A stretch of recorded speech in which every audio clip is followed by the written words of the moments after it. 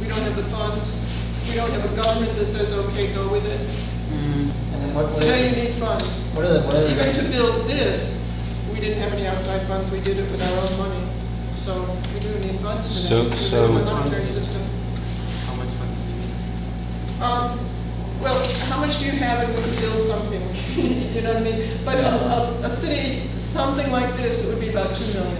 Really? Just to- Even with man hours and equipment? That's just the design cost or the design? I mean, I'm That- sorry. that really doesn't sound two realistic. I'm sorry. Oh, two billion. Billion, okay, I was just saying, well, you're not building all that for two million dollars, sorry. There that goes. Inflation, back in the day, it'd be two million. Yeah. Now it's two billion.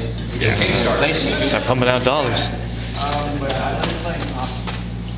So, What? you know, What do you think? like I like playing hockey, and there's a lot of people that like playing There's hockey. a lot of people that like sports too, that's But right. I don't think um, I play hockey to to try and someone. I just enjoy playing it. Right. You might not, but a lot of people might. Yeah. I enjoy playing tennis. With, Have you ever seen a hockey game Yeah. on TV? Yeah. Have you ever seen the, the viciousness and the- the fights after hockey games? Yeah. People don't even go to sports games and say, Fred from this team played really well, and George from the other team played really well.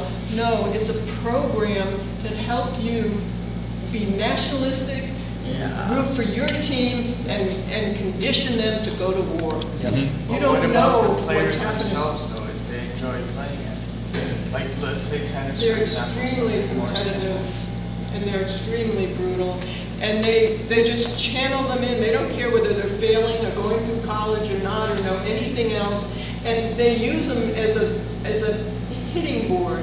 You know that, that the more you hit your head in, in, in, say, football, it's not that you need a concussion, but the continuous hits of the head, it makes them morons later in oh, life. Absolutely. And they just use them. They don't care about them. They know this happens. So it depends on what you want, what kind of But people it still comes down to like, I like playing hockey. S- Like something very simple, not what happens in society today. Well, then you can play hockey. Yes. I guess Play they- hockey, But- but maybe the hockey would be outside. You know, people like racing. But, you know, it's, it's really what you've been conditioned to like. I would feel safer, you know, we have people who live down the road that like throwing a rope over a cow. And, and the kids, I see them there for hours on end, learning how to throw the rope over the fence post. They like that. I would feel much safer with somebody who got their kicks and their joy out of, out of science and figuring out heart disease. But I Or- do, I do enjoy that too. But I enjoy having different aspects rather than, I enjoy cooking, I enjoy learning about science.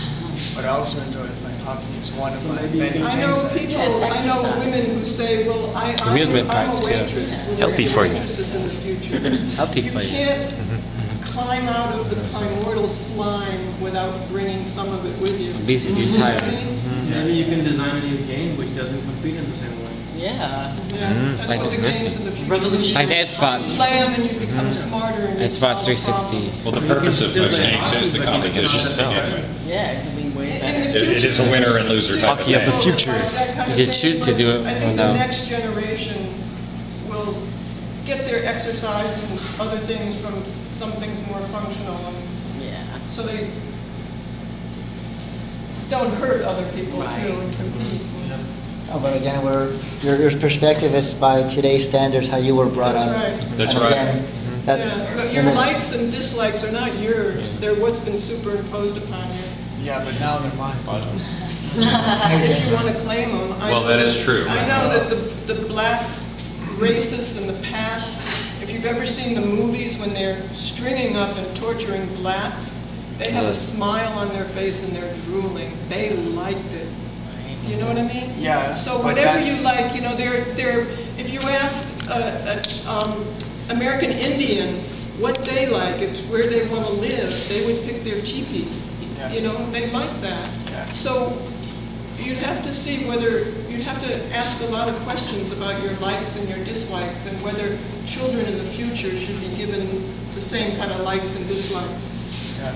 It's fine if you like it, but if you understand the limitations. Sure, it's something and you damaging, teach prejudice and bigotry to your kids, because you know that will hurt you too. You have to question everything that you like. Yeah, even music and your sports and, and why you like them. You. Mm-hmm. I got a question. Well, like in the Venus Project, uh, there's no law. So what if accidentally a murder is committed in the Venus Project? Maybe somebody got cheated on and they killed their lover or something Oh, because they got cheated on. Like Yeah, but it's I just mean, like Well, there is law.